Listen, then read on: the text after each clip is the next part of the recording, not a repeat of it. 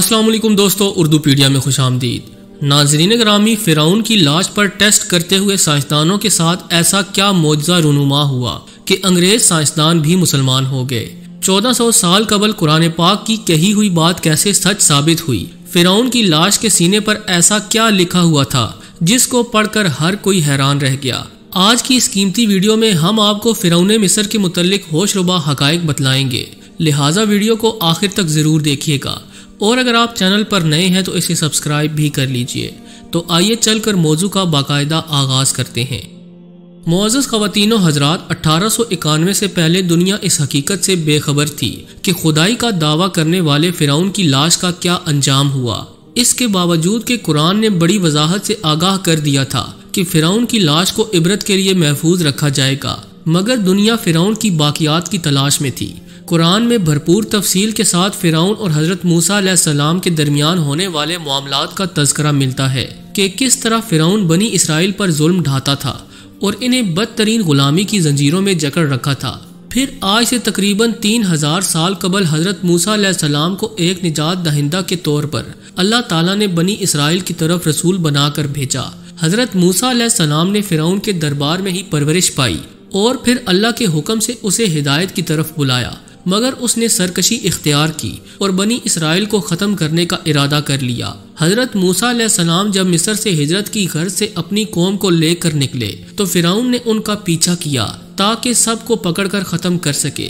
हज़रत मूसा सलाम अपनी कौम के साथ दरियाए नील अबूर कर गए, क्योंकि दरिया के बीचों बीच अल्लाह ताला ने उनके लिए रास्ता बना दिया था। मगर फिराउन उसी दरिया में अपनी फौज के साथ गर्क हो गया। और हज़रत मूसा सलाम बाहिफाजत दरिया के दूसरे किनारे पर पहुँच गए। इस हवाले से कुरान पाक की सूरत यूनस में फिराउन के मरने के बाद इसका अंजाम कुछ इस तरह से बयान किया गया। बस हम तेरे बदन को समंदर से निकाल कर महफूज कर लेंगे, ताकि तू बाद में आने वालों के लिए इबरत का निशान बन जाए। मुआज़ खातिन हजरात फ़िरौन के डूब मरने के बाद मिस्रियों में से एक शख्स ने दरिया के किनारे पड़ी हुई फ़िराउन की लाश की शनाख्त की। और इसे अहले दरबार की मदद से दरबार में ले आए। उन्होंने पूरी शान शौकत से फिरौन की लाश को मिसालें लगाकर एक ताबूत में बंद करके महफूज कर दिया।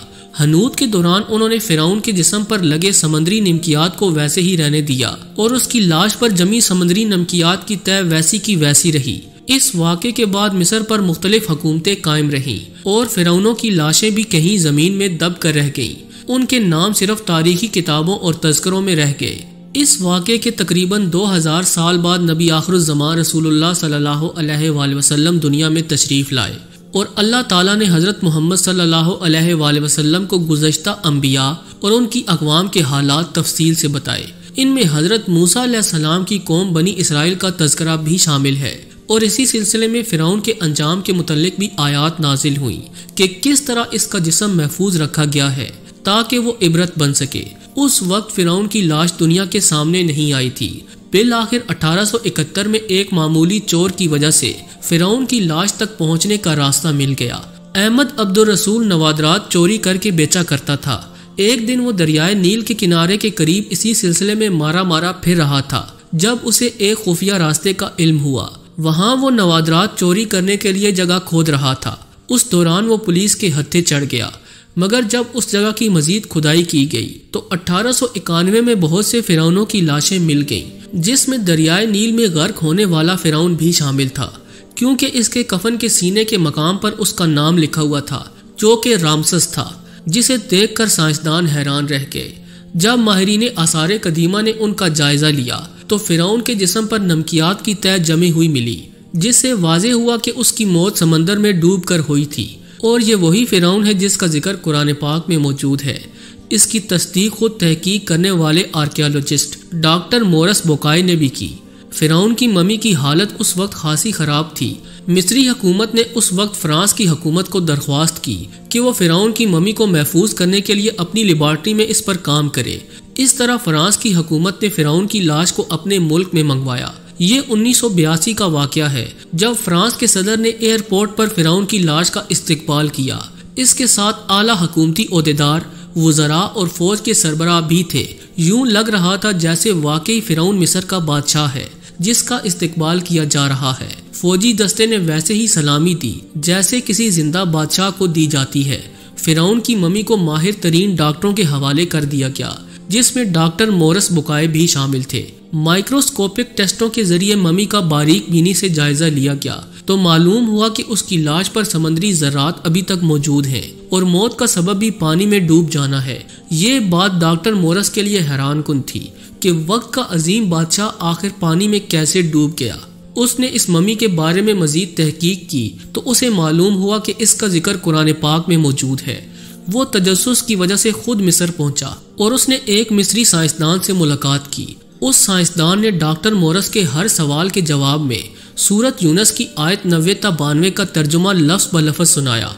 फिरौन का खुदाई का दावा, उसका पानी में डूब कर मर जाना और फिर पानी से निकाल कर उसकी लाश का हनूत हो जाना और फिर दोबारा लाश का मिलना और फिर जदीद साइंसी आलात से उस लाश का महफूज हो जाना। इन सब बातों का इशारा एक ही जानब था कि तुझे बाद में आने वाले के लिए इबरत का निशान बना दूँगा। अब फिरौन की लाश इस तरह से महफूज हो चुकी है कि इंटरनेट की एक क्लिक पर, रसायल और जरायद टीवी चैनल्स पर और अजायब घर में अरबों इंसानों की आँखों के सामने काबिल तर्स हालत में मौजूद है।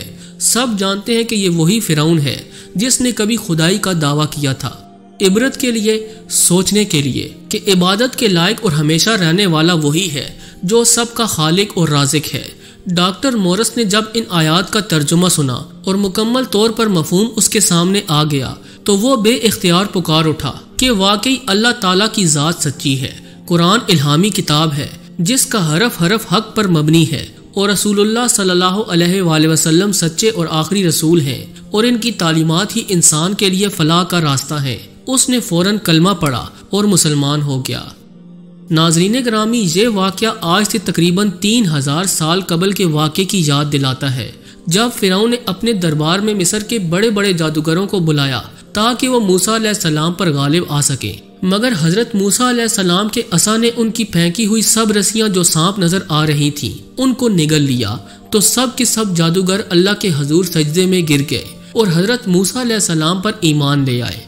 मगर उस वक्त सब कुछ अपनी आँखों से देखने के बावजूद, फिरौन अपनी हटधर्मी पर कायम रहा और बिल आखिर समंदर में गर्क हो गया।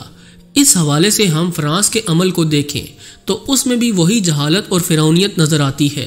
फिरौन की लाश का इस तरह से इस्तकबाल करना, जबकि वो सारी दुनिया के लिए इबरत का निशान है, सरासर जहालत और गुमराही है। वो मनाजर देख कर अहले इल्म ने राय दी थी कि एक मुर्दा फिरौन का इस्तकबाल एक ज़िंदा फिरौन कर रहा है।